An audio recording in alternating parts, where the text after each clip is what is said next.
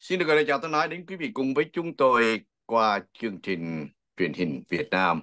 Và hôm nay qua buổi nói chuyện quý vị cùng vào buổi trưa đặt thứ hai đầu tuần khách mời của chúng tôi đó là ông Phát Bùi, cụ nghị viên của thành phố Garden Grove. Xin được lời chào ông Phát Bùi đến cùng với chương trình của chúng tôi ngày hôm nay. Và chúng tôi xin gửi lời chào anh Đoàn Trọng và toàn thể quý khán thính giả của truyền hình Việt Nam. Đáp lời mời của chúng tôi là vì chúng tôi thấy gần đây thì có những cái dư luận xôn xao nói về những cái sự kiện đến với thành phố Westminster với tư cách ông là một cựu nghị viên, thành ra chúng tôi cũng muốn hỏi về tất cả một vài cái điều luật để cho tất cả những đồng hương của chúng ta ở tại miền Nam, miền Bắc California đều hiểu rõ được những cái tiến trình sinh hoạt dân chủ ở tại Hoa Kỳ này như thế nào. Việc trước tiên thì chắc ông cũng biết rồi là đến vào ngày mùng 5 tháng 11 tới đây, một cái cuộc tranh cử từ từ hạ tầng cơ sở cho đến trung ương và ông anh tất cả những cuộc bầu cử nếu những cái cuộc bầu cử nào đòi hỏi có cuộc bầu cử sơ bộ thì những người thắng cử sơ bộ đủ tiêu chuẩn để vào vòng 2 sẽ được định đoạt vào ngày 5 tháng 11 tới đây. Trong số những cái chức vụ đó thì chúng ta thấy có một cái chức vụ chúng ta cũng nên nói qua khán thính giả hôm nay, đó là cái chức vụ giám sát viên địa hạt Santa Clara. Và hôm nay chỉ có hai người Việt Nam chúng ta có mặt ở vòng đua cuối cùng, mà lại là hai người phụ nữ. Chắc quý vị nam giới, chắc là quý vị phải lấy cái gì che lại nha chứ tôi thấy nam giới quý vị nói dữ quá nhiều. Bác sĩ kỹ sư đánh nhau bên này bên kia. Rút cuộc lại ở miền Bắc California chỉ có hai người phụ nữ thôi. Một là cô uh, Madison một trong những người mà cũng đã có nhiều tiếng tăm ở tại miền Bắc California. Và kế đến là một cô nữa là Betty Dương. Hai người sẽ là hai người vào vòng chung kết một cái chức vụ giám sát viên cho một cái địa hạt ở cái quận Santa Clara. Thì anh nghĩ đó việc trước tiên tôi muốn hỏi anh khi anh nghe cái tin đó thì anh có cảm thấy vinh dự của người Việt ở tại miền Bắc California. Và bên cạnh đó thì chúng ta nói đến cái sự đấu đá nhau ở dưới miền Nam California thì hai cái sự việc nó đi như thế nào? Vâng, à, thưa anh thì việc đầu tiên là chúng ta phải thấy đây là một cái việc đáng mừng à, và cũng xin gửi lời chúc mừng đến ừ, hai ứng cử viên người Việt Nam bởi vì một trong hai người này chắc chắn 100% là sẽ trở thành giám sát viên của quận Santa Clara trên, trên vùng uh, San Jose và đây là một điều đáng mừng cho cả hai người. Người nào thắng đi nữa thì cả hai cũng đã là người đã chiến thắng trong cái kỳ sơ bộ vừa rồi. Chúng tôi xin gửi lời chúc mừng đến tất cả hai ứng cử viên này và gửi lời chúc mừng đến toàn thể người Mỹ gốc Việt của chúng ta ở trên quận Santa Clara, thưa anh.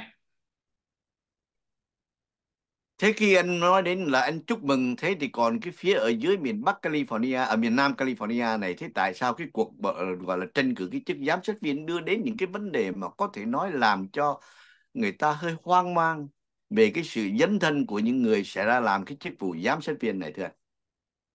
Anh hỏi có đó là chung cho cả hai miền Nam Bắc hay là chỉ cho không miền miền miền Bắc thì nó đã có rõ ràng hai người đi miền Nam này này. Đây đó vâng. miền Nam thì chúng ta cái điều trước tiên chúng tôi muốn nói đến một cái dù cho ai có một cái tầm hiểu biết về chính trị về cái sinh hoạt của người Việt đây như thế nào thì chúng ta cũng phải đến lúc này là cái cuộc tranh cử này có tính cách bè phái nhiều hơn. Vào giám sát viên địa hạt một ở quận Cam thì đúng là như vậy thưa anh. À, và trong cái kỳ rồi sở dĩ mà người ta rất là hoang mang là bởi vì người ta thấy uh, có nhiều cái vấn đề đánh phá nhau giữa các ứng cử viên là một. Và thứ hai nữa là có tới bốn ứng cử viên người Việt tranh với nhau trong khi ừ. ở bên đảng Dân Chủ. Và bốn người đều đã thuộc về đảng Cộng Hòa là người Mỹ gốc Việt. Trong khi đó bên đảng Dân Chủ đưa một người ra. Đó là một cái bà người uh, Mỹ gốc uh, uh, Mễ thưa anh thì qua cái sự việc vào tháng 3 vừa qua thì chúng ta cũng biết rồi trong cái thời gian này thì có rất nhiều cái xôn xao và rất nhiều cái lo lắng trong cộng đồng. Tại sao thế?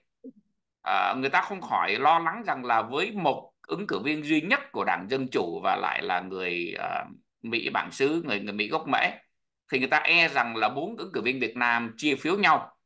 Và nếu nó xảy ra cái tình trạng là cái bà người mễ này được 50 phần trăm cái lá phiếu của những người đi bầu cộng thêm một phiếu nữa thì bà ta sẽ thắng luôn và loại tất cả những người ứng cử viên Việt Nam ra khỏi vòng sơ bộ.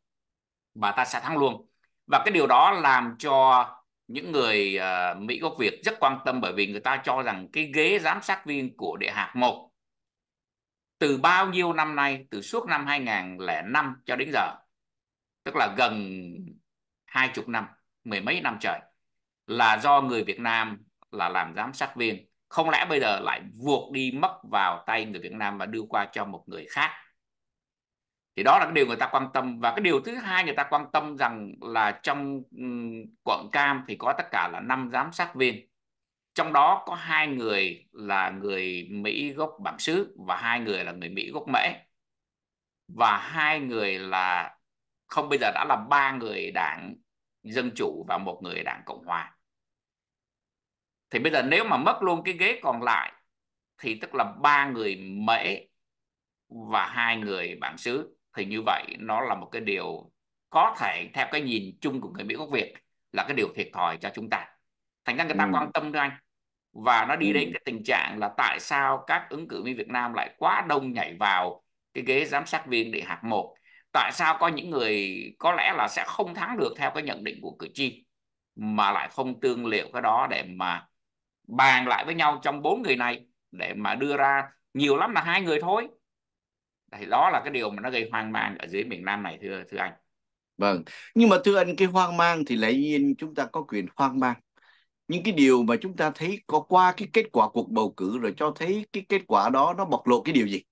À, cái bộc điều này cho thấy rằng là người nào muốn thắng ở những cái vai trò rộng lớn hơn nó ra khỏi uh, địa hạt ở mức thành phố trở xuống thì rất là cần thiết là phải có lá phiếu, không những lá phiếu của cử tri người Mỹ gốc Việt, mà phải có lá phiếu của người bản xứ.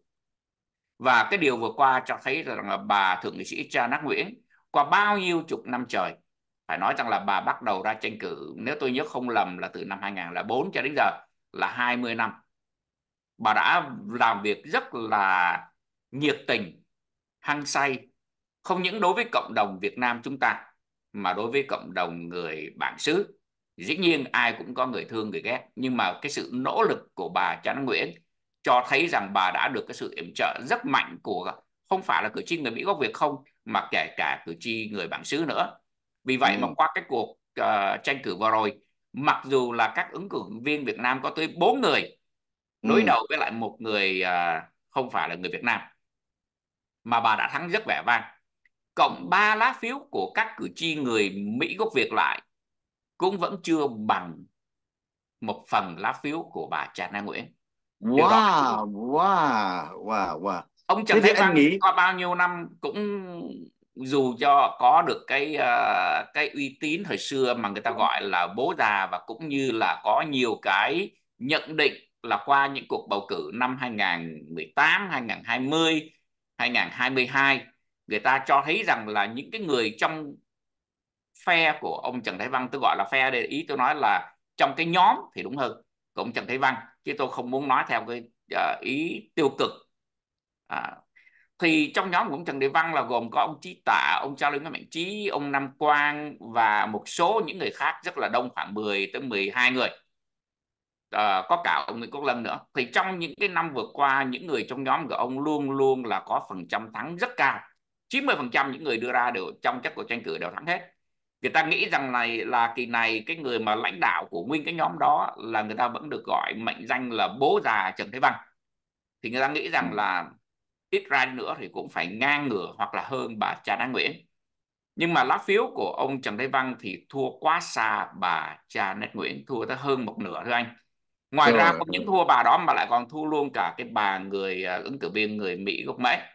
Ôi dạ dạ thì ờ, cái điều đó cho thấy rằng là chúng ta không thể ra tranh cử chỉ vì những cái uh, đòn tranh cử mèo được mà là phải do cái sự nỗ lực vận động cử tri và không phải chỉ là cử tri người Mỹ gốc Việt mà phải là cử tri của đại đa số uh, những cử tri ở trong vùng thưa anh anh nói như vậy tất nhiên là cử tri họ đã từ chối những người Mỹ gốc Việt của chúng ta ngoại trừ bà Janet Nguyễn ra phải không? Cái từ chối ở đây tôi là coi như nói cái... rằng là tôi không có cái cái cái dữ kiện gì để nói là cử tri họ từ chưa từ chối uh, ứng cử viên người Mỹ gốc Việt ngoại trừ uh, bà Trần Nguyễn. Uh, nhưng mà tôi nói đây là họ đã tin tưởng rất mãnh liệt vào uh, thượng nghị sĩ Trần Đăng Nguyễn. Yeah. Và điều đó thì cái niềm tin thưa anh cái niềm tin thì lại nhiên là người ta phải có niềm tin khi ứng cử viên ra. Ông Trần Thế Văn cũng có niềm tin và những người khác cũng có thể có niềm tin nhưng mà cái điều đó là người ta từ chối từ chối để cho những người đó họ đại diện cho mình ở một cái chức vụ mà cần thiết. Tôi hỏi anh chứ ví dụ như ngang ngửa chứ tôi nghe nói rằng là thua tới 100 năm ở 15 à, 35.000 phiếu thì tôi hỏi làm sao mà còn đủ cái cái cái tín nhiệm để cho người ta tin tưởng được nữa?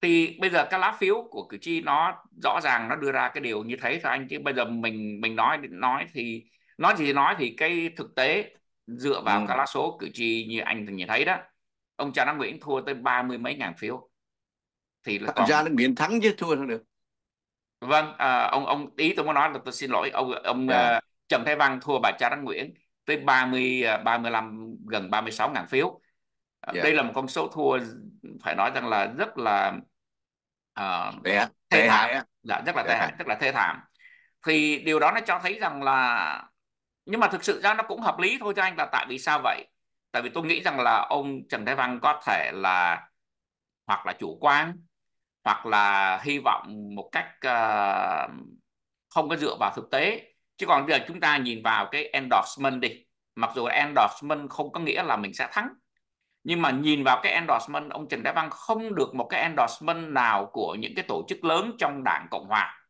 từ Lincoln ờ, Lincoln Club cho đến uh, đảng Cộng hòa Trung ương cho đến những thành viên trẻ uh, Republican Youth uh, vân vân uh, đến những cái hội sở thuế ở trong đảng Cộng hòa Quận Cam này đều không có được một cái ủng hộ nào thậm chí ừ. cho đến những người uh, uh, thành viên của đảng cộng hòa mà kỳ cựu và đang ở tại chức ông cũng không được một người nào thưa anh. Và một cái người mà người ta nói rằng là đáng lẽ là phải đứng ra endorse và ủng hộ ông Trần Thế Văn đó là bà Michelle Steele. Mà ông cũng không được cái endorsement đó. Thì điều đó ừ. cho thấy rằng đúng ra là từ tháng tháng đầu năm 2024 ông đã thấy rõ cái thực tế nó như vậy. Thì có lẽ ừ. không nên ra bởi vì ra như vậy. Không phải là cái vấn đề mình thắng thua là chuyện bình thường nhưng mà mình ra như vậy đó thì nó làm mất cái uy tín của mình đi. Ừ. được sức mình thua thí dụ như thua bà Trác Nguyễn một hai ngàn phiếu thì cái điều đó nó cũng không có tai hại gì.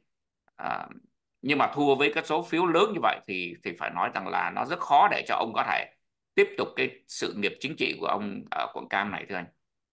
Thế bây giờ chúng ta trở lại về phía Bắc thì bây giờ chúng ta nói đến hai nữ hào kiệt. À một bên thì là coi như Madison cũng đã từng vào nghĩa là lăn xả vào cái thị trường chính trị. Tôi nói là thị trường chứ không phải là chính trường nữa. Tôi nói thị trường chính trị ở trên đó và cũng có nhiều fan có thể lên đồi xuống núi. Đó. Thế thì bây giờ tôi hỏi anh rằng với một người Betty Dương là một nữ luật sư tôi cũng chưa được biết nhiều tôi chưa có cơ hội gặp gỡ. À, và là một nhân vật trẻ cũng là chánh văn phòng cũng giống như ông Trần Thế Văn ở đây là chánh văn phòng cho một người đương nhiệm chức vụ là uh, giám sát viên địa hạt Santa Clara thì một bên kem kem tám lạng người nửa cân anh nghĩ rằng cái cái cái cái quyết định và cái cái mà đập vào mắt người ta nhiều như những người ở dưới miền Nam mình không biết. Madison không biết Betty Betty Dương thì người ta nghĩ cái cái nào là có thể người ta có thể tin có thể đoán mò là có thể thắng cử được. Tôi không phải là cử tri ở miền Bắc và cũng không ở sống ở trong vùng. Thành ra tôi không có theo dõi một cách uh, sát. Thành ra rất mà khó nói thì nhiều khi nói người ta lại nói rằng là uh, ở xa mà cũng không biết nhiều mà cũng cũng cũng ừ. bày đặt có ý kiến nhưng mà tuy nhiên tôi chỉ nói một cách tổng quát thôi cho anh vâng. đừng coi thường cái khả năng bà Betty Dương tại sao vậy một cái người mới mà có khả năng là bà đã thắng cái sơ bộ như là bà Betty Dương thì nếu tôi là Madison Nguyễn tôi không dám coi thường vâng. là bởi vì cái người mới mà có khả năng thắng đó cái khuôn cái cái cái thành tích của ta tuy là nó chưa có trong cái vấn đề là dân cử là giám sát ừ. viên hay là làm ừ. thị trưởng nhưng ừ. mà ngược lại người ta không có bị những cái uh, thành kiến bị những cái người ganh ghét bởi vì khi mà chúng ta phục vụ có bề dày đó thì dù chúng ta có chúng ta đương nhiên là sẽ có được nhiều người thương và nhiều người quý mến nhiều người ủng hộ nhưng mà ngược lại trong cái quá trình làm việc cũng sẽ có nhiều người thù ghét và bất mãn và không ưa mình cái người mới thì người ta lại không có cái khả năng để mà kinh nghiệm để mà chứng minh cho cử tri nhưng mà ngược lại người ta fresh không có bị mang tai tiếng không có bị người này thương người kia ghét thành ra mà bà Betty Dương đã vượt qua được cái thử thách ở cái sơ bộ và bà đã thắng điều đó ừ. cho thấy rằng bà bà thắng với cái ngang ngửa với lại bà Madison thì kỳ này nếu bà Madison không thận trọng thì sẽ bị bà Betty Dương có thể qua mặt thôi. Ừ thì dù qua mặt hay là dù đứng sau lưng đi nữa thì chúng ta cũng thấy hào hứng có một cái cuộc đua. Và chúng tôi hy vọng rằng là sẽ có một cái cuộc tranh luận. Anh nghĩ là cái cuộc tranh luận nó cần thiết để cho tất cả những người Mỹ gốc Việt chúng ta thấy hai cái phụ nữ tranh giành một cái chức vụ và có thể nó rất quan trọng nha. Supervise rất là quan trọng để người ta có một cái kinh nghiệm về cái vấn đề chính trường ở Hoa Kỳ, sân khấu chính trị ở đây và đặc biệt là cái vai trò của người phụ nữ ở một cái quốc gia tân tiến nhất trên thế giới thưa anh tôi mong rằng là sẽ có một cái cuộc uh, uh, tranh luận như vậy để cho cử tri ở Sankara có một cái nhận định nó chính xác mà nó không có dựa trên cái uh, chỉ thuần túy trên cái mình thích người này hay mình thích người kia. Mà ừ. một phần là dĩ nhiên phải dựa vào cái đó và một phần nó sẽ dựa vào cái nhận định của cử tri đối với hai ứng cử viên này thưa anh. Và cũng để cho những người Việt ở khắp nơi trên Hoa Kỳ và thế giới uh, có được cái uh, tầm nhìn cho nó uh, trọn vẹn về hai ứng cử viên này. Vâng.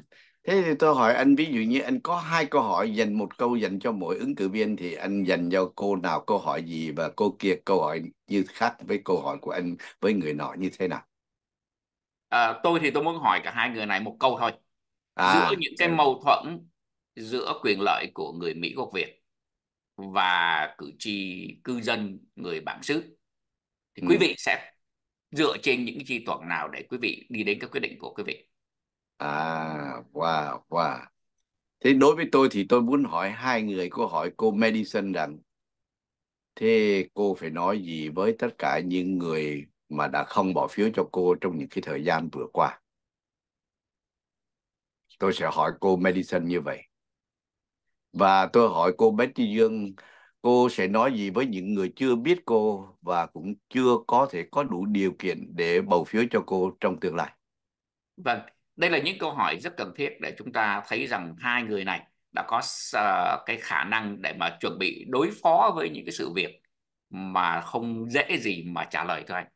Ừ. Vâng, kính thưa quý vị, đó là một vài tin tức về cái sân khấu chính trường ở tại Mỹ và đặc biệt là có sự liên hệ với cộng đồng người Việt chúng ta qua cái buổi ăn trưa hôm nay của chúng tôi với khán thính giả của truyền hình Việt Nam. Bây giờ thì chúng ta trở lại cái chuyện xa xa hơn chút xíu, đó là chuyện cuộc bầu cử vào ngày mùng 5 tháng 11 tới đây thưa anh. Trong đó một cái chức vụ mà người Việt của chúng ta cũng có thể nói quan tâm đến rất nhiều, rất nhiều và rất nhiều, đó là chức vụ Tổng thống của Hiệp Trung Quốc Hoa Kỳ. Sở dĩ chúng tôi nói như vậy là vì cái tiểu bang California thì chắc quý vị không cần nói nhiều, không cần trình độ cao, không cần nghiên cứu gì cũng biết rằng cái người đại diện cử tri đoàn cho cái cuộc bầu phiếu tổng thống thì trước sau gì cũng là của đảng Dân Chủ. Mà nói đảng Dân Chủ thì chắc bầu trong Joe Biden. Nhưng điều đó không có nghĩa là không có cái không khí tranh đấu và có thể nói là lôi cuốn cử tri ở miền Nam cũng như miền Bắc California đối với ông Donald Trump. Vì trong những ngày cuối tuần vừa qua thì ông Donald Trump đã xuất hiện tại San Francisco và có thể nói buổi quyên tiền ông của ông cũng là một trong những sự kiện làm cho tất cả những người ủng hộ ông phấn khởi. Và đi về miền Nam California thì Beverly Hills cũng giống như là ở tại uh, Orange, uh, tại Newport Beach. Ông có thể nói đã chiếm lĩnh cái trái tim của những trong đó có một số rất lớn những người Việt ở đây. À và thậm chí có người còn bỏ ra cả tới gần hai chục ngàn để được chụp một cái hình với ông à, cái điều đó cũng là một trong những cái sự kiện làm cho chúng ta ấy. và kính thưa quý vị sơ sơ nổi cái nước mà trước khi đến Las Vegas thì ông Donald Trump và sau khi ngày hôm qua tại Las Vegas thì anh có thể nghĩ rằng ông Trump đã có trong cái túi cho cái quỹ tranh cử của ông ta thêm được 21 triệu 7 nữa thì anh nghĩ đó có phải là một cái thành quả cho ông ở tại tiểu bang mà có thể nói rằng khó có cái đất cho ông ở để bầu cho ông vào cái chức vụ ở White House ở California thì chắc chắn là ông Trump sẽ không có thể thắng tổng thống Biden được bởi vì ở California là nơi cứ địa của đảng Dân Chủ. À, làm gì thì làm thì ông Biden cũng sẽ à, lấy được California và lấy được New York. Ông Trump có thắng hay là ông Biden có thắng là nó do ở sáu cái tiểu bang chiến địa đang à, tranh chấp với nhau mà cả hai người này đều chỉ có tùy theo cái thăm dò dư luận thì lúc thì ông Trump hơn một hoặc là tối đa hai phần trăm lúc hôm thì ông Biden hơn một hoặc hai phần trăm. Nó còn quá sớm để chúng ta có thể có được cái uh, nhận định là ai sẽ là cái người thắng được ở sáu tiểu bang này. Bởi vì hai bên đều ngang ngửa nhau và cái mức hơn ừ. hơn thua nhau một hai phần trăm không đáng kể anh là bởi vì những ừ. cái thăm dò dư luận này nó có cái sai số khoảng chừng từ 2 tới 3 phần trăm. Thành thử ra hơn nhau một hai phần trăm thì khó để mà chúng ta có thể có cái lượng định được lắm à, tuy ừ. nhiên cái điều mà tôi thấy ông Trump được uh, hy vọng là có thể thắng được ở tiểu bang chiến địa là qua ngay sau khi cái cuộc uh, uh, sau khi bồi thẩm đoàn mà kết tội ông đó thì ông đã trong nội trong 24 tiếng ông đã gây quỹ được tới ba mươi mấy triệu và cái số tiền gây quỹ online này đa số là do các uh, à, những cái người bình thường họ cho từ à, vài chục cho đến à, vài ngàn thưa anh. Nó khác với lại cái cuộc gây quỹ ở Beverly Hills cũng như là ở San Francisco hoặc là ở Newport Beach hoặc là bên Las Vegas là cái số người cho tiền có thể cho rất nhiều tiền. À, thành thử ra tôi nhìn cái cái cái cái cuộc uh, gây quỹ online cách đây uh, ngay sau cái ngày 24 tiếng sau cái ngày mà ông bị bồi thẩm đoàn kết tội thì tôi nhìn thấy đó thấy nó có cái khả quan hơn cho ông Trump nhưng mà cái chuyện này còn rất rất khó để có thể tiên đoán chúng ta phải đợi có lẽ là đến tháng 9 hoặc tháng 10 à, nhất là sau khi hai cái cuộc tranh luận giữa tổng thống Donald Trump và ông Biden vào tháng 7 này sắp đến đây ừ. vào là cái cuộc tranh luận nữa vào hình như là vào tháng 9 hay là tháng 10 phải không anh? Yeah. Tôi không để ý, tôi đã coi rồi nhưng mà uh, hai ba tuần nay không coi lại thành thử ra không nhớ rõ. Anh anh, anh anh nói lại cái gì anh? Cái cuộc chúng ta phải đợi đến cái cuộc tranh luận giữa oh, ông Trump và Biden thì là... cái cái đầu tiên là sẽ vào tháng 7 này. Vào tháng 7 26 tháng 7 ở à, hai ở ngày mùng ngày 26 tháng 7 thì phải. Yeah. Vâng, à, chúng ta đã nói rồi nhưng mà tại vì nó còn lúc đó thì nó còn sớm thành ra không có ừ. để ý để mà nhớ và cái lần thứ hai thì sẽ vào khoảng tháng tháng 9 hoặc hoặc đầu tháng 10. Ừ. Qua hai cuộc tranh luận này thì chúng ta mới theo dõi những cái cuộc thăm dò dư luận thì mới có được cái à, cái cái cái đoán võ đoán mà nó có thể nó nó tương đối nó gần gũi hơn. Nhưng mà nếu tôi có câu hỏi với anh là nếu một người nào như anh đi ví dụ như anh khi anh không thích bầu cho ông Joe Biden thì anh dựa vào cái lý do gì để ông không bầu cho ông Joe Biden? Tôi nghĩ rằng là đa số cử tri người ta bỏ phiếu theo cái cảm tính. Ví dụ như ừ. người ta ghét ông Trump thành ra dù cho có lý do gì đi nữa mà ta cũng nhất định dứt khoát không bỏ cho ông Trump. Ngược lại có những người họ rất chán ghét uh, ông Biden thì họ không bỏ phiếu cho ông Biden. Đa số ừ. người ta bỏ theo cái cảm tính nó nhiều hơn là theo cái suy nghĩ nó ừ. khác với lại những cái cuộc uh, tranh cử tổng thống khác trước đây thì à. kỳ này ngay cả trong những cái cuộc thăm dò của uh, các uh, uh, cơ quan các tổ chức uh, polling thì họ cho thấy là ngay cả trong khối cử tri của đảng dân chủ họ cũng không có uh, vui không có thích cái uh, bỏ phiếu cho ông Biden nhưng mà họ quyết định họ bỏ cho Biden là bởi vì họ cực kỳ uh, chán ghét ông Trump Ừ. Ừ. người ta nói rằng là ông Biden, đối với những người, một số những người cử tri đảng dân chủ, họ cho rằng ông Biden cũng đã quá già yếu, không còn cái sự sáng suốt và minh mẫn. Thứ hai là một số những chính sách của ông Biden trong thời gian 4 năm vừa qua, nó đã không mang được cái sự mong đợi của họ. Thí dụ như về vấn đề an toàn ở biên giới. Thí dụ như cái việc mà lạm giá cả, lạm phát gia tăng thì thì đó là những cái điều và gần đây nhất là cuộc chiến ở Trung Đông giữa Do Thái và Hamas và cái lập trường cái cái cái lối uh, uh, yểm trợ yểm trợ cái policy của tổng thống Biden để yểm trợ cho Do Thái thì đã làm cho rất nhiều người cử tri đảng dân chủ mà uh, ủng hộ khối uh, người Palestine họ bất mãn. Ừ. Thành ra họ không bằng lòng với chính sách của ông Biden. Tuy nhiên vì họ không họ nói thẳng là vì họ không thích và không đồng ý họ rất là chán ghét ông Trump thành ra họ sẽ vẫn tiếp tục bỏ cho ông Biden thì cái điều ừ. này là một cái điều mà chúng ta thấy rằng là cái điều uh, uh, rất đáng tiếc cho cái cuộc bầu cử tổng thống năm nay bởi vì ừ. qua cái sự nhận xét như vậy thì chúng ta thấy là có rất nhiều người vừa không ưa tổng thống Biden vừa không ưa tổng thống ừ. Trump nhưng mà họ không có cái sự chọn lựa nào khác thưa anh.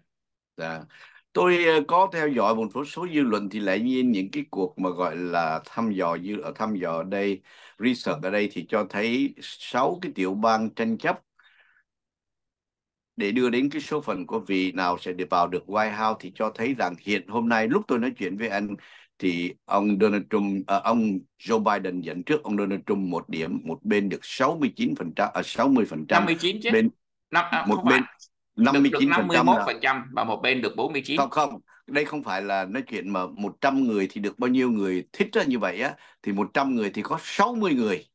Người ta bầu cho ông Donald Trump, à, bầu cho ông Joe Biden. Và có cái cuộc thăm dò với phía bầu ông Trump thì 100 người thì có người 59 người bầu cho ông Donald Trump. Tất nhiên hơn nhau chỉ có một phiếu mà thôi. Vâng.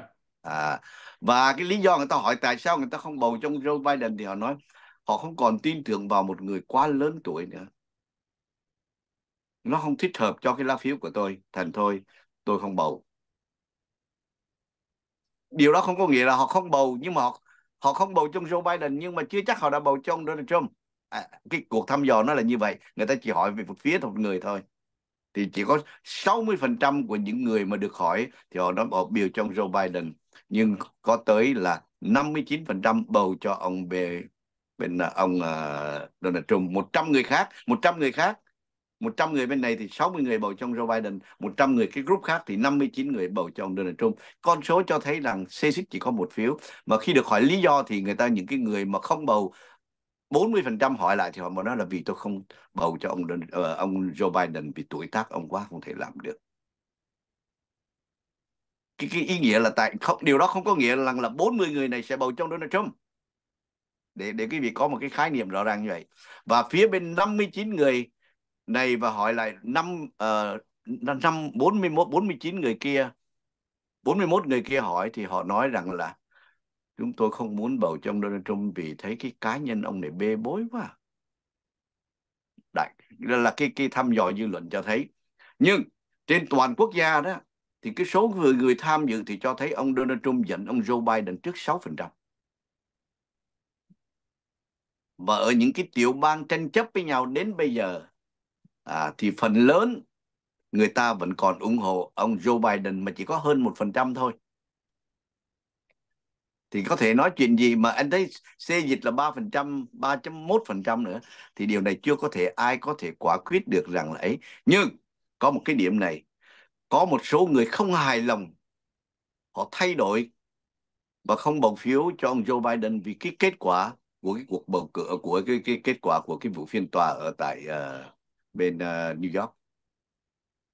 Nhưng những người này họ không bằng lòng là tất nhiên họ không bỏ phiếu cho ông Donald Trump nhưng họ không bỏ phiếu cho ông Joe Biden nữa. Còn phía bên những cái người mà không đồng tình với ông Joe Biden, những cái gì ông đang gọi là cái chính sách của ông ở tại Israel, cũng giống như cái, gọi là cái vấn đề ở Ukraine, và đồng thời là một trong những vấn đề quan trọng, đó là vấn đề kinh tế ở tại Hoa Kỳ này. Thì có thể nói tới năm 43% họ không bằng lòng và không chấp nhận cái điều mà những cái cái cái gọi là để ủng hộ ông Joe Biden vào cái điểm đó nhưng những cái người đó bốn ba trăm đó họ cũng không ủng hộ cho ông Donald Trump. Thì điều này cho thấy cái vấn bài này rất là khó để cho chúng ta có thể có một cái cá cược lẫn làm sao mà người nào là underdog về vấn đề mà vào chức vụ tổng thống vào kỳ tới. Vâng à, hiện thì cũng còn còn uh, cái tất cả các đài uh, mà làm những cái cái cái uh, thăm dò dư luận họ cũng nói rõ rằng bây giờ còn quá sớm để có thể có được cái nhận định là à, gió sẽ chuyển về hướng chiều nào à, yeah. Dạ. tuy nhiên chúng ta tất cả các đài này cũng chưa có nhắc đến một cái yếu tố thứ ba mà ừ. tôi nghĩ rằng nó quan trọng không kém đó là ông Robert F Kennedy Jr. Ừ. ông này ra tranh cử thì sẽ làm mất đi phiếu của ai nhiều hơn thật sự mà nói cái phía mà những người mà bầu trong Kennedy thì có thể nói là những người phía ở cùng hội cùng thuyền với ông Joe Biden của đảng Dân Chủ nhiều hơn. Tại thế lực của Kennedy dù sao đi nữa cũng còn có một số người còn giữ mãi cái tiếng tăm của dòng họ Kennedy, đặc biệt như là ở tại tiểu bang vùng New England. Điều đó có nghĩa rằng tại Vermont, New Hampshire, Massachusetts, Connecticut, Rhode Island và New York nhưng mà New York thì chắc là chúng ta không nói vào đến vùng cái tiểu bang New England nữa thì có thể nhưng liệu ông có xoay trở được cái tình hình ở tại Massachusetts hay không? No, chắc là không bao giờ thay đổi được ở Massachusetts. Nhưng liệu ông có thể thay đổi được ở uh, tiểu bang uh, Vermont không? Yes, có thể có. Liệu ông có thể thay liệu ông Kennedy có thể thay đổi được ở Maine không? Yeah, cũng có thể có. New Hampshire không? Có thể có vì những cái tiểu bang đó dân số nó ít và số cử tri đoàn cũng ít nữa. Đó cũng là một vài cái quan trọng mà có thể điểm quan trọng cái điểm mà chúng ta nhận thấy ở đây thưa anh anh trọng là nếu mà ở trong những cái tiểu bang đó mà chỉ có hai hai ứng cử viên là ông Joe Biden và ông uh, Donald Trump và họ chênh lệch nhau chỉ có một hai phần trăm phiếu thì cái yếu tố ông John F. Kennedy Jr có thể không đến nỗi quan trọng lắm. Nhưng mà tôi nhưng, nhưng mà không ý tôi không tôi nói lộn. Nếu mà mà thêm vào cái yếu tố John F. Kennedy mà bởi vì ông Biden chỉ hơn có hai phần trăm thôi. Thì những cái lá phiếu mà ông John F. Kennedy lấy được từ ông Joe Biden có thể làm cho ông Joe Biden bị dưới ông Ken dưới ông Donald Trump một ít phiếu. Thì cái người nào thắng là cái người đó họ lấy hết ở những cái ở một số những tiểu bang này. Thì uh, thì điều đó nó có thể làm cho ông Biden bị mất đi một hoặc hai tiểu bang thưa anh cái điều mà chúng ta có thể nói những cái tiểu bang nhỏ vùng New England nếu có mất đi sẽ không bao giờ mất về Donald Trump và đều mất về ông. Ví dụ tôi nói ở Vermont thì có thể rằng ông Kennedy có thể thắng ở đó trước ông Joe Biden. Thì tất nhiên cái phiếu bao nhiêu cử tri đoàn ở đó sẽ về phía ông Kennedy. Chứ còn nói chuyện Donald Trump thắng ở trên đó thì chắc không có đâu. Anh có nghĩ tôi... rằng có thể là cả hai bên mỗi người được uh, ví dụ như một người được uh, khoảng chừng uh, 60% phiếu đảng dân chủ hoặc là 70% đảng dân chủ mà ông John F Kennedy được được được 20 hoặc có thể hơn nữa 30% của những người cử tri dân chủ thì cái điều đó làm cho cái lá phiếu của ông Biden bị thụt xuống một cách quá nhiều đến mức để mà vâng. ông ông ông Donald Trump có thể thắng luôn không? Thì tôi đã nói với anh như vừa vừa rồi tôi nói là tôi nói khó có cơ hội mà tôi dám đoan chắc rằng không có ông Trump không thể nào thắng được ở những cái tiểu bang vùng niêm lịch cho dù ông Kennedy có làm điều gì nữa thì cũng ông có thể nói cái tình hình mà tệ hại á thì ông Joe Biden có thể thua ông Kennedy chứ không có Donald Trump có thể thắng được uh, Joe Biden ở những tiểu bang đó đâu. Tôi đã từng ở sống ở tại những tiểu bang đó tôi cũng biết rồi. Tôi thấy rõ ràng cái cái truyền thống ở dưới đó họ là như vậy rồi. Nó gồm có Vermont. Vermont thì bây giờ là một trong những cái tiểu bang mà hy vọng được là tại vì tiểu bang đó là independent. New Hampshire thì rất là đi conservative của những người người đảng cộng hòa à, dân chủ. Và bên uh, bên ờ, uh, men thì cũng có một người bà hồi xưa là bà đó là làm à, là bà đó là cũng của cộng hòa. À, nhưng mà cái đa số chung tất cả những bầu cử tổng thống thì ít khi có. Thì nói tóm lại cái điều mà quan trọng nhất trong cái cuộc bầu cử này là cái gì? Số phiếu những người Latino và bây giờ có những cái xu hướng những người Latino có một số tiểu bang đang ở trong vòng tranh chấp có thể bầu cho ông Donald Trump nhiều hơn là bầu cho ông Joe Biden. Lẽ nhiên con số đó nó cũng không đưa đến một cái kết quả mà chúng ta có thể nói là tin tưởng hoàn toàn. Tuy nhiên, có một số người châu Mỹ Latin hiện nay đặc biệt nhất là những người ở vùng Trung Đông nữa thì có thể nói những cái số phiếu này nó cộng lại nhau nó cũng ảnh hưởng cho ông Joe Biden ở những cái tiểu bang như là tiểu bang Wisconsin như là tiểu bang Nevada và như là tiểu bang Arizona đặc biệt cái kỳ tranh cử năm 2020 Nevada và Arizona và và Arizona ông Joe Biden thắng. Nhưng liệu kỳ này cái niềm hy vọng của ông thắng hai tiểu bang đó có còn như những năm uh, năm 2000 hay không thì chắc lẽ nó xuống rất nhiều. Tại cái vâng, sự thay đổi đây là một cái điều khó khăn là bởi vì ông Biden vào năm 2020 thì ông thắng ở tiểu bang Nevada và Arizona với một cái số phiếu không có cao lắm Dạ vâng. Nếu mà bây giờ bên cái một số đủ để có một ít lá phiếu của những người Latino thuộc Đảng Dân Chủ chạy qua bỏ cho ông Trump vì ông Trump trong uh, cuối tuần vừa qua đã tuyên bố rằng những người nào làm nghề uh, wait, waiter waitress tức là làm yeah. nghề chạy bồi bàn qua, hay là những cái nghề qua. nào mà có nhiều tiền tip yeah. thì những cái tiền lợi tức về tiền tip đó sẽ không uh, phải bị đánh thuế nữa. Yeah hôm qua thì ngay cái đang cuộc... chắc là ông sẽ làm cái chuyện đó. Vâng thì hôm qua thì cái buổi rally của anh hôm qua cái buổi rally của ông Donald Trump á, thì ông đã tuyên bố cái điều đó ra. Ông nói tất cả các cử tri ở đây này những người quý vị đi làm sống nhờ vào cái đồng tiền thiếp. Chúng tôi đứng bảo vệ quý vị. Quý vị khỏi đóng thuế chúng tôi làm tổng thống. Quý vị không có đóng thuế cái tiền uh, thiếp đó. Và quý vị giữ để bảo đảm cuộc sống của quý vị khó khăn của quý vị cái điều này làm cho tất cả những nhà phân tích và những giới báo chí để đưa ra có thể nói ông đã hít được cái số của những người Latino ở tại tiểu bang Nevada. Thế anh không nghĩ là nó lại gây cái uh, tác dụng ngược ở một số những cử tri khác mà họ cho rằng như vậy không công bằng với họ hay không? Ai là những người có thể có ép phê ngược như vậy? À, thí dụ như một số những uh, ứng cử viên đảng uh, độc lập mà vâng. họ không làm về cái ngành uh, được cái tiền tips vâng. thì họ cảm thấy bất mãn là như vậy không có công bằng với họ thì đáng lẽ Đấy. họ bỏ cho ông Trump nhưng kỳ là vì ông Trump nói như vậy họ lại bất mãn và họ ừ, bỏ phiếu trắng hoặc không bỏ anh đưa ra một câu hỏi anh đưa ra một câu Biden. anh đưa ra một cái câu hỏi rất thực tế nhưng thực tế ở mức độ như thế nào ở thực tế ở mức độ người ta cũng không mấy bằng lòng với cái đường lối quyết định táo bạo của ông Donald Trump tuy nhiên người ta cũng không thể không đến nỗi nào mà đi qua bỏ phiếu cho ông Joe Biden khi mà tất cả những cái sự kiện ở trong đầu óc người ta còn có những cái vấn đề nặng hơn đối với ông Donald Trump về à, ông Joe Biden. Một cái điều anh nói cũng rất là hợp lý, đúng là như thế. Thì bây giờ chúng ta nhìn lại là ở đây cũng là những cái sự mà cân nhắc tính toán của các ứng cử viên. Bên ông Biden ừ. phải cân nhắc một số việc và bên ông ờ, ban tranh cử ông Trump cũng phải cân nhắc một số việc khi họ đi đến các quyết định như thế thì quả thật rằng cái quyết định vừa rồi có thể sẽ mang cho giúp cho ông Trump thắng được ở hai tiểu bang là Nevada và Arizona. Bởi vì ở hai tiểu bang này ông chỉ cần cố gắng thêm một chút ông có thể thắng được ông Biden. Và thắng được hai tiểu bang này thì thấy thêm được một cũng cũng khá nhiều uh, cử tri đoàn thưa anh. Có một cái điểm mà người ta tất cả các giới báo chí đều nói đến rất nhiều đặc biệt là chuyến đi sáng nay của ông Netanyahu ở tại Washington DC liệu ông Joe Biden có gặp ông Netanyahu hay không?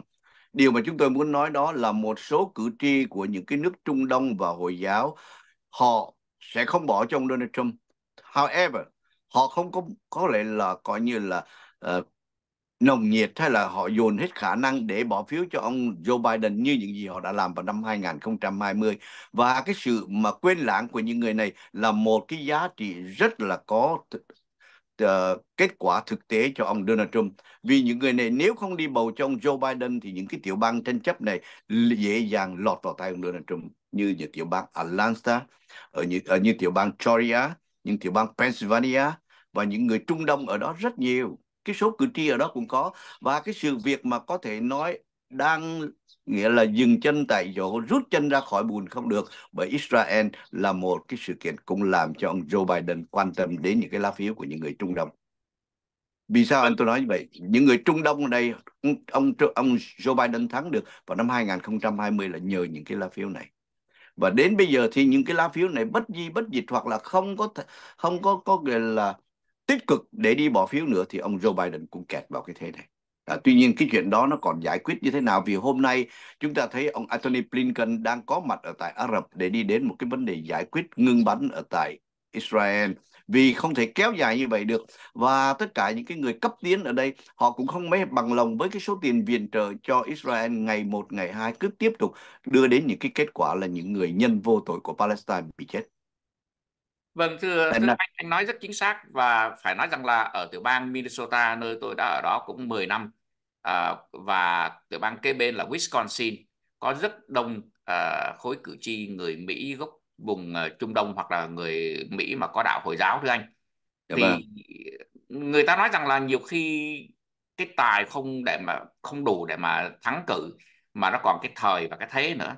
Và nói rằng là ông Biden đã gặp nhiều cái thiệt thòi khi mà đùng một cái vào năm uh, cuối năm 2023 và bước sang năm 2024 đối diện với một cái cuộc tranh cử rất là gay go mà ông lại gặp phải cái vấn nạn của uh, Hamas và Israel.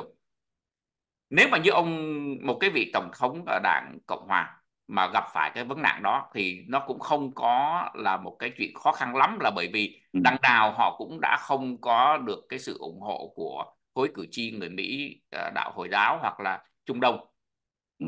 nhưng mà cái khối này là cái khối mà là một trong những cái lá khối lá phiếu quan trọng giúp cho ông Biden thắng được ở những cái tiểu bang đang chiến địa ừ. thành thử ra một cái điều ờ, kém may mắn cho ông uh, tổng thống Biden khi mà ông phải đi đến quyết định bởi vì ông không thể không ủng hộ Do Thái được ừ. mà lẽ nhiên tôi hoàn toàn đồng ý với anh về cái quan điểm rằng khó có thể Hoa Kỳ dứt ra khỏi tất cả những sự ràng buộc đối với Do Thái. À, nhưng gần đây thì lại có một cái cái chuyện này nó cũng làm cho ông Trump mất đi một vài điểm quan trọng. Đó Gì là vấn đề Biden những cái lời à, không ông, Ông Trump. Donald Trump, ông Donald Ông Trump. Trump. Vâng. Ông Donald Trump mất là vì qua cái cuộc gặp gỡ của những nhà lãnh đạo quốc gia nhân kỷ niệm 80 năm ngày chiến thắng Normandy thì ông Donald Trump lại tuyên bố những cái lời mà có thể nói làm ảnh hưởng rất nhiều đến những người lính, những quân nhân và những ai có thể nói đang nghĩ đến những cái gì cha ông họ đã hy sinh qua cái trận đại dịch thế chiến. Ông ta gọi là như thế này, ông gọi là những kẻ thua cuộc và những kẻ ngu ngốc. Cái câu này là ông nhưng mà sáng nay thì ông đã phủ nhận liền, ông phủ nhận là ông việc gọi những người lính chết là không phải là kẻ thua cuộc và kẻ ngu ngốc nữa. Ông sau cái chuyến thăm nghĩa trang của Biden, của Biden ở Pháp là cái chuyến đi thăm của ông Joe Biden với là ông vua Charles cũng giống như ông thủ tướng uh, Trudeau của Canada ông thủ tướng Scholz của bên Scholz của bên Đức và đặc biệt là ông Emmanuel Macron của Pháp. Thì khi sau cái chuyến thăm này thì ông Trump có một cái lời tuyên bố không biết có có hay không, hay là ông lấy lại thì chắc cái anh cũng biết cái cái tính của ông Trump rồi. Ông gọi những cái người lính trên những cái trận chiến chết là kẻ thua cuộc và những kẻ ngu ngốc. Cựu tổng thống một lần Trump, lần nữa sáng nay ông đã phủ nhận việc coi thường những người lính Mỹ thiệt mạng là những kẻ ngu ngốc và kẻ thua cuộc sau khi ông Tổng thống Biden dừng chân tại Nghĩa trang Pháp hôm Chủ nhật mà ông Trung đã không đến thăm trong chuyến công du này của ông vào năm 2018. Năm 2018 ông cũng đến Normandy nhưng lại không đến thăm cái Nghĩa trang này. Vì ông có những kẻ nói lời nói là đây là những kẻ ngu ngốc chết lại là những người thua cuộc. Anh thấy không? À, hôm nay họ đưa ra cái lời nói đó và ông lại có điều kiện, ông phải phủ nhận những cái lời ông nói và ông nói rõ ràng là tôi chưa bao giờ nói ra những người lính chết là những kẻ thua cuộc và ngu ngốc. Nhưng tất cả những báo chí nó lại nôi ra cái vấn đề này. Ai lại nói đến những điều như vậy? Ông Trung đăng cái trên trang mạng Trust Social của ông và ông gọi cáo buộc này là thông tin sai lệch đến từ các đối thủ của ông. Cái điều mà đối thủ của ông họ lợi dụng đưa ra những cái này làm cho ông phải mất thì giờ và đưa ra những cái điều gọi là phản là phản biện lại cái phản biện của ông. Lẽ nhiên nếu có thành công đi cũng phải có một cái sự mất mát mà đến bây giờ mất người nào là hại người đó thôi mất một cái lá phiếu là hại người đó ở trong cái vùng đang tranh chấp. Vâng thì quả thật là như vậy. Thì uh, đối với cuộc tranh cử năm nay nó có rất nhiều cái vấn đề uh, mà nó nằm trong cái uh, sự quan tâm của các cử tri. Thành thử ra um, ai sẽ thắng? Đó là một cái điều hiện ừ. giờ cũng còn quá sớm để chúng ta có thể kết luận được là ai ở cái thế thượng phong chưa, chưa nói đến cái chuyện ai sẽ thắng thưa anh. Yeah. Sáng nay thì đặc biệt là sau cái chuyến trở về từ Pháp uh, qua một cái cuộc gặp gỡ với ông Zelensky cũng giống như là với ông uh, Marcos uh, Marco em, uh, Emmanuel Macron thì điều mà người ta nói rằng là trong cái chuyến đi tới Pháp vào năm 2018 á, thì ông Trung đã bỏ qua chuyến thăm dự kiến tới một cái nghĩa trang với lý do là Nhà Trắng biện lý là do thời tiết xấu nhưng mà tờ Atlantic lúc đó thì nó đưa tin này vào năm 2020 rằng Trung đã hỏi các nhân viên. Tại sao? Khi lúc mà hỏi với mình nhân viên của ông hỏi tại sao tôi phải đến cái nghĩa trang đó? Nó chứa đầy những kẻ thua cuộc. Không biết cái tin này đâu lại lọt ra vào trên tờ Atlantic. Tạp chí này đưa tin Trung sau đó gọi những người chết trong chiến tranh là những kẻ ngu ngốc vì bị giết. Anh thấy chưa? Đó là anh cái, cái những cái câu nói có thể nó bình thường thôi. Nhưng mà đến lúc người ta khai thác thì cũng là một trong những cái vấn đề mà mà mà à, lẽ nhiên thôi chuyện đó cũng bỏ qua. Bây giờ là chúng ta nói sơ sơ về cái chuyện ở bên bên Mỹ này bầu cử rồi. Xong xuôi rồi bây giờ thì chúng ta không còn nhiều thì giờ nhưng chúng ta phải nói một cái chuyện này. Sở dĩ có anh hôm nay chúng tôi cũng muốn nhờ anh đưa cho chúng tôi biết. Trong cái thành phố của quý vị mà quý vị đã có cơ hội để làm gọi đại diện cho người dân gọi là nghị viên của thành phố đó thì tối hôm qua tôi thấy ông Ngô Kỷ cũng lên nói dữ quá về vấn đề nghị viên của những thành phố đó thế thì lúc nào trong những cái cuộc họp mà không cho một cái người nghị viên vào họp thì nó phải những cái điều kiện ắt có và đủ như thế nào để đi đến cái kết quả như vậy thưa anh?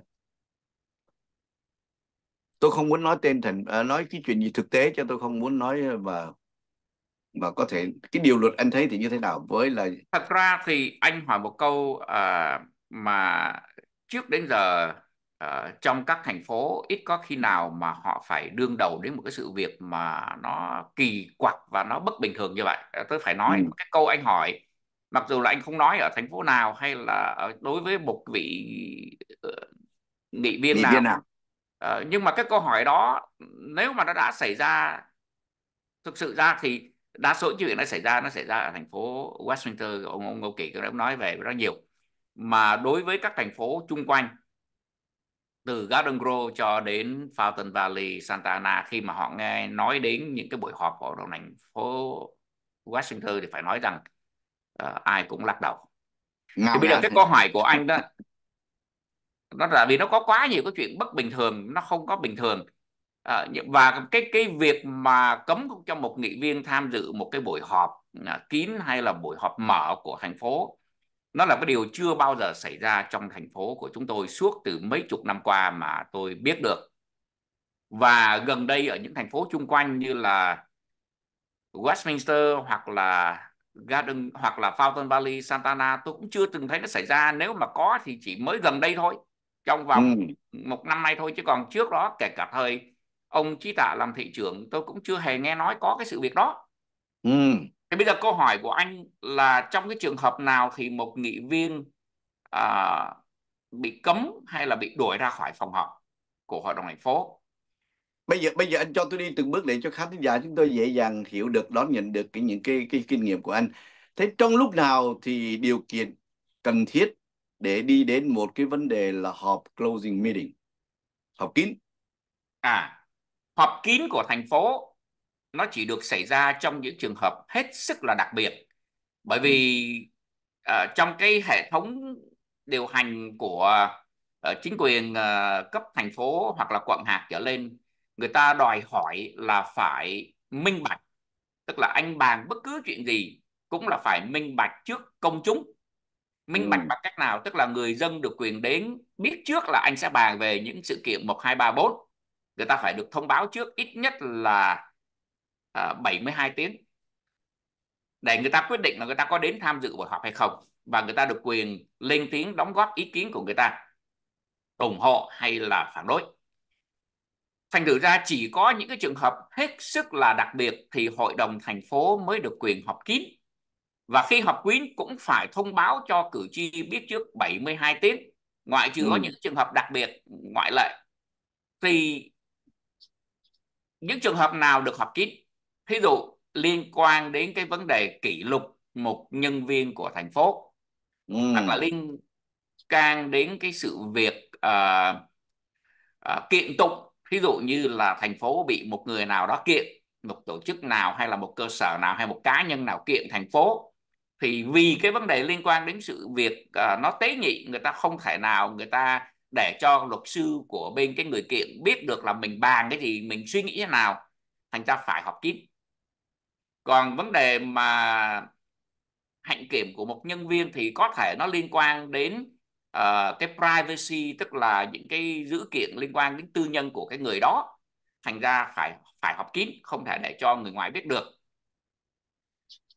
À, và việc thứ ba là một số những cái hợp đồng mà nó có tính cách tế nhị thì phải họp riêng thì thì đó là những cái nhưng mà cái trường hợp thứ ba đó thì thì tương đối là nó cũng cũng cũng cũng khắc khe lắm chứ không phải là cứ muốn có hợp đồng là và hợp duyệt thì ừ. trong cái trường hợp đó hội đồng thành phố phải thông báo trước 72 tiếng là ngày hôm đó tôi sẽ họp kín và sẽ bàn về cái đề mục này không ừ. cần phải nói sâu nhưng mà phải ít ra phải cho biết cái mục đích họp riêng về cái đề mục đó là mục đích để làm cái gì vâng người ta có thể không nói đích danh cái người bị kỷ luật một người manager hay là một người nghị viên người ta có thể không nói. Dạ. đích danh nhưng yeah. Mà người ta phải nói là chúng tôi sẽ họp để mà uh, kỷ luật hay là censor tức là làm hình thức kỷ luật đó về một cái uh, một cái người nghị viên mà không cần nói rõ là không có thể không nói là người nghị viên nào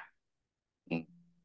thế thì trong trường hợp khi quý vị mở ra một cái cuộc họp kín như vậy rồi cái điều kiện đầu tiên là cần phải có bao nhiêu người đồng ý cái đó để đi đến một cái quyết định là có buổi họp kín. Nó tùy trường hợp. Nếu mà nó liên quan đến vấn đề mà kiện tụng thì cái người city manager chỉ cần cái người city manager bỏ vào trong cái nghị trình họp kín sau khi và phải thông báo trước 72 tiếng như tôi lúc nãy. Nhưng người yeah. city manager có quyền làm cái chuyện đó yeah. không cần phải có cái sự đồng ý của thị trưởng và hay là đa số hội đồng thành phố yeah. nếu mà nó không phải vào những cái trường hợp đó mà nó liên quan đến cái vấn đề uh, kỷ luật một người thành viên của hội đồng quản trị à, hoặc à, hội đồng nghị viên thì cái điều đó cần phải có được cái sự đồng ý bởi ít nhất hai người hai người thế một bên ông hai người thì tôi, tôi không nói là, là là là tùy theo thành phố như thành phố chúng tôi đó là có tới 7 yeah. người thì ít nhất phải có hai người đồng ý mới được. Vâng. Thế thì à, còn bên ông thị trưởng còn có bên được không? bên bên Washington họ có 5 người thì thì tối đa là hai người bởi vì họ không được họ không thể nào họ họ họ bàn về cái chuyện này trước khi mà nó ra công chúng thôi. Dạ vâng. Thế thì uh, nếu một mình ông thị trưởng có được không? Bên theo như tôi hiểu thì bên Washington một mình thị trưởng có quyền làm cái chuyện đó. Vâng. bên Garden Grove thì không được dạ bên vâng. Garden Grove chúng tôi một mình ông thị trưởng không có cái quyền hành đó vâng.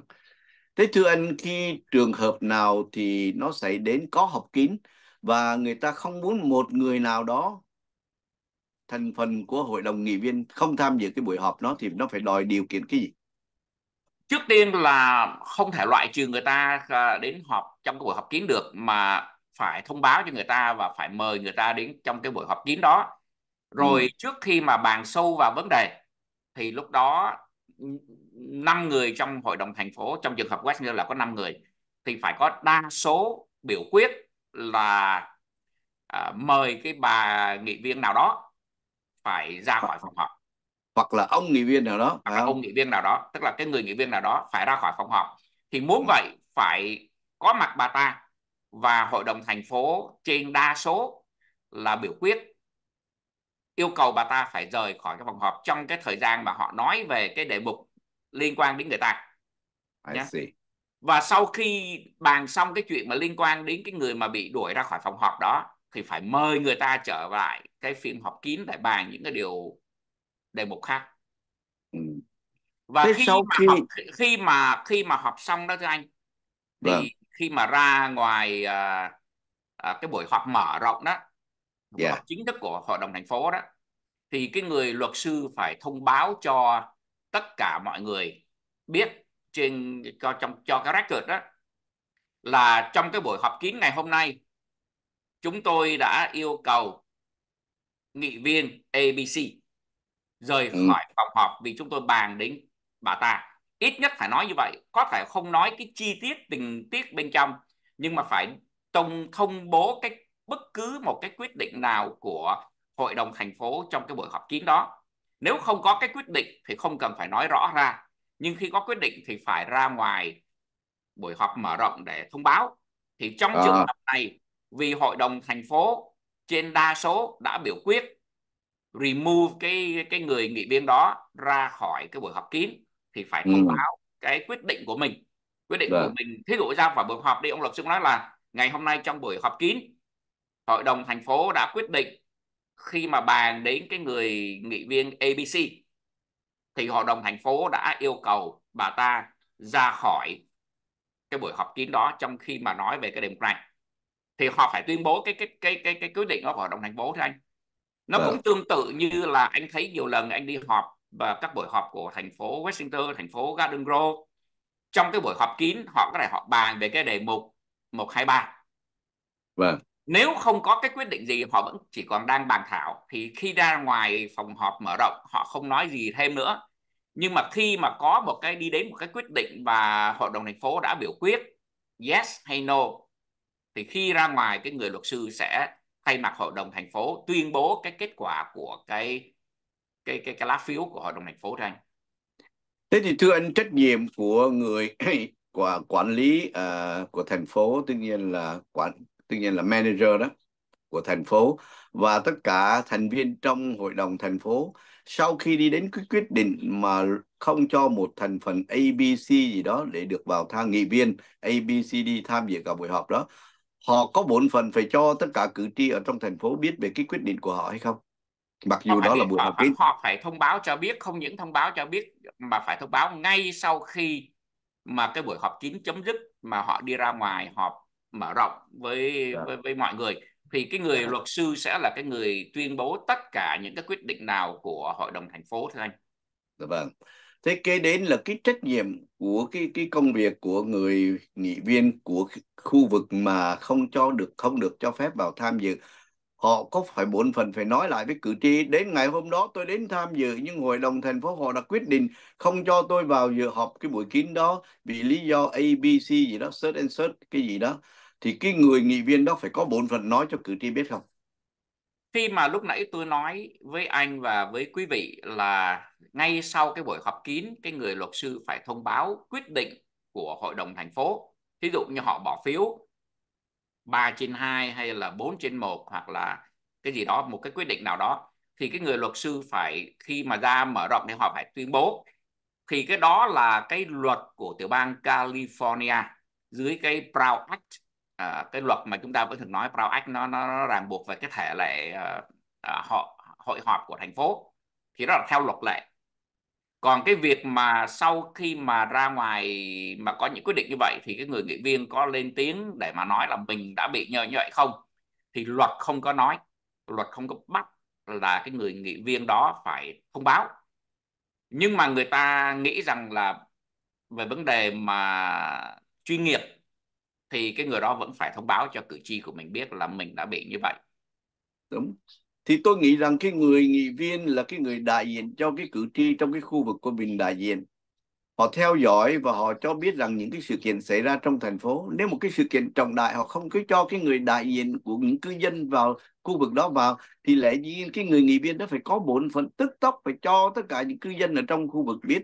Điều đó có nghĩa qua những cái email, qua những cái, gọi là, cái cái lời tuyên bố trong cái cái YouTube cũng được nữa dạ. nghĩa là làm sao cho thì, người ta biết được đây thì... không phải là cái luật lại bắt buộc nhưng mà cái trách nhiệm cái người nghị viên cần phải thông báo cái đó cho cử tri vâng. mình biết thưa anh vâng thế thì thưa anh khi người ta ví dụ như ông A bà B bị cấm không vào được trong cái buổi họp đó thì nếu người ta cảm thấy cái điều đó nó không đúng với tất cả những luật lệ hiện hành này thì người ta cần có một luật sư để can thiệp cho cái quyết định đó.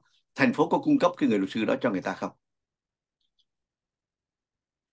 Trường hợp cụ thể thì tôi không có rành để tôi tôi có thể tôi trình bày cái quan điểm của mình. Nhưng mà cái luật chung của thành phố như có nhiều lần có một số người đã đặt cái vấn đề đó ra đối với hai cái vị uh, thị trưởng của thành phố trong quá khứ là ông Bruce Broadwater cũng như là ông Bảo Nguyễn. Có hai cái trường hợp mà hai vị này cũng đã gặp những cái phức tạp như vậy. Khi luật sư của chúng tôi trong có thông báo chúng tôi biết là à, đối với cái trường hợp như vậy thì bất cứ những cái sự việc gì liên quan đến cái việc làm của một nghị viên mà trong cái buổi hội họp của thành phố thì tất cả mọi chi phí về luật uh, về tòa đó về luật sư nữa kia thành phố phải cung ứng cái chuyện đó cho những người nghị viên đó chỉ có những cái việc gì mà những người nghị viên này họ làm bên ngoài bên ngoài cái buổi họp của thành phố thì tùy theo sự việc có những sự việc thì những người đó họ phải tự trả cái tiền luật sư phí ừ. nhưng mà cũng có một số việc nó vẫn là thành phố phải trực tiếp trả cái tiền lệ phí giả sử như một nghị viên nào đó ở bên ngoài uh, làm một cái việc gì đó on behalf của thành phố của mình và bị kiện thì cái tiền luật sư phí thành phố vẫn phải trả thưa anh. Dạ. Thế thì trong trường hợp ví dụ như ờ, người ta họp kín rồi người ta đi đến một vấn đề là truy tố cái người nghị viên đó A B C D gì đó thế cái người nghị viên đó có có được cái quyền bảo vệ luật cái cái biện hộ hoặc là có luật sư thân chủ của mình mà cái chi phí đó do hội đồng thành phố trang trải cho họ hoặc là đề cử một cái luật sư cho họ không thưa anh? Cái cái trường hợp anh hỏi nó chưa hề bao giờ xảy ra đối với thành phố của chúng cá nhân tôi hoặc là thành phố mà tôi biết được qua thành phố Santa Ana, Family thành ra tôi không rành lắm à, tôi cũng không phải là luật sư chuyên về cái uh, những cái điều luật này. Thành ra cũng không có dám uh, có ý kiến. À, à. nhưng mà khi anh đi vào họp thành phố cái điều lệ anh trở thành nghị viên thì người ta cũng cho biết cái luật.